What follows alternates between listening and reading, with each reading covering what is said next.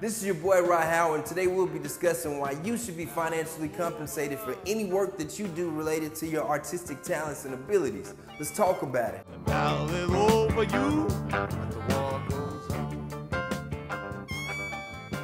And now it's over you. All right, guys, so use your imagination for me for just a moment. Let's pretend that your boss calls you and your boss asks you to work both of your off days during a work week and they tell you that you're not going to be paid for your time. They tell you that it's optional if you work, you won't be penalized or anything if you don't do it, but they do want you to come in and work on those days and you're not going to be paid. I think that most of you guys' response would probably be something similar to this right here. Hell no. To the no, no, no. Hell no. Are you guys see me dancing? See my dancing finger? I think a lot of you guys probably be using a different finger when you did that dance if your boss asked you to come in and work for free. The reality is, even if you love your job, you would probably say no. So for the same reason you would say no to that, you should probably be saying no to accepting jobs using your artistic abilities for free. I have to be honest, this is a topic that I've struggled with myself for the last few years. Discussing money is awkward, but it's something that has to be done in order for you to thrive as an artist. What I've done today is compiled a short list to remind you guys why you should be getting paid for your artistic talents and abilities. So let's talk about them. One of the first mistakes that I see a lot of creatives do that keep themselves from getting financially compensated for their work is the doubt that they have in themselves. I can think of numerous occasions when I've missed out on paying opportunities because I felt like maybe I wasn't good enough to actually do the work. I know that a lot of people will probably be upset with me for saying this, but I happen to believe that regardless of where your skill level is, you're warranted of demanding a paycheck for your work if you feel confident enough in your abilities. The reality is the potential client that's reaching out to you about doing creative work either does not possess the creative ability or they don't have the time to actually do the work themselves, so they're reaching out to you. So you're good enough to do the work. You should be getting paid for work related to your artistic talents and abilities, also because you are providing a service. It doesn't matter whether you're designing flyers, it doesn't matter whether you're a singer or a live performer or a videographer, you're providing a service to someone. Think about it like this. If you're a graphic designer and you design a business card for someone or you design a flyer, that client is going to use that material to make money. If you're a singer and you go to a club and you go sing at a venue, the promoter's going to make money, the house is going to make money, everybody's going to be collecting a paycheck but you if you don't talk about finance. Another reason that you should be paid for your work is that you have to buy equipment to do whatever it is you do.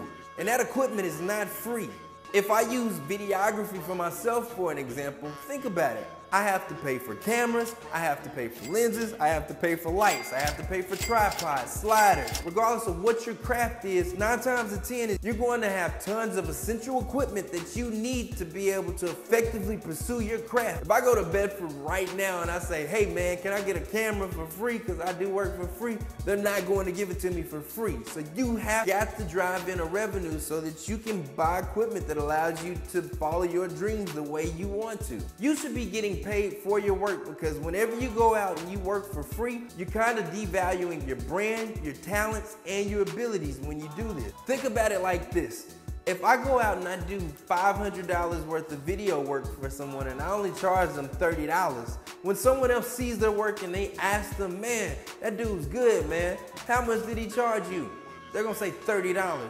If you get into the habit of doing this on a consistent basis, you're going to hurt your brand and you could even be hurting your earning potential within your market. One of the most important reasons you should be getting paid for your artistic talents and abilities is if you plan on making this a full-time job. If it is your dream to make a living off of your talents and abilities, then you have to be able to drive in some form of revenue to live off. Only way that's going to happen is if you charge for your work. It seriously gets to the point where as a creative you have to make a decision. Is creating something that you want to do for fun in your free time and you really don't want to worry about money?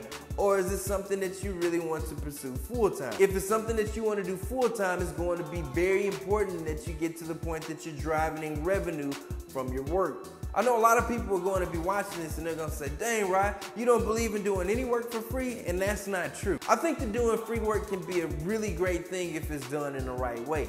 I think that doing free work is cool whenever you're working on something that you're passionate about or if you're doing it for a good cause like a charity or a church. I think that free work is also cool whenever you're in a bartering type situation.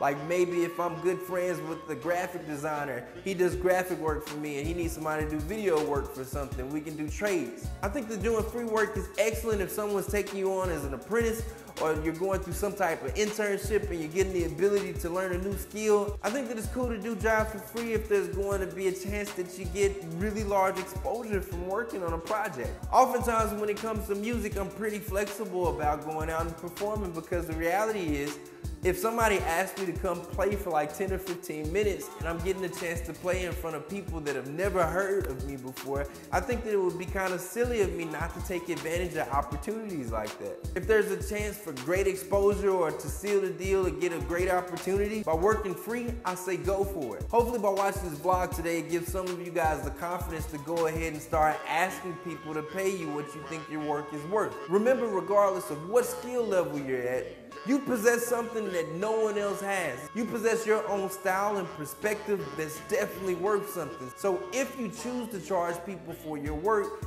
you're talented and gifted enough to do so in confidence. So the next time somebody comes to you and they ask, can you design my party flyer for the free? Hell no. Can you shoot me a music video? I'm working with a budget of like $20. Hell no. Hey man, you need to go and hook me up with some studio time for the free. Hell no.